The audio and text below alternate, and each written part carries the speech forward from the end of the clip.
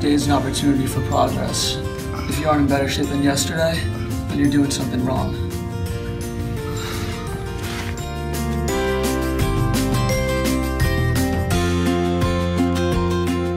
Got the best gyms in New York, the best nightlife, the best restaurants. We live in the best city in the world. You always gotta be in shape, always staying fit.